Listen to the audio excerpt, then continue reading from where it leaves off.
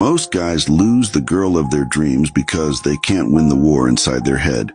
They let their insecurities, doubts, and fears dictate their actions. They worry about not being good enough, about the ghost of her past, about the uncertainty of the future. They let the noise inside their mind drown out the voice of their heart. They question her motives, her loyalty, her love.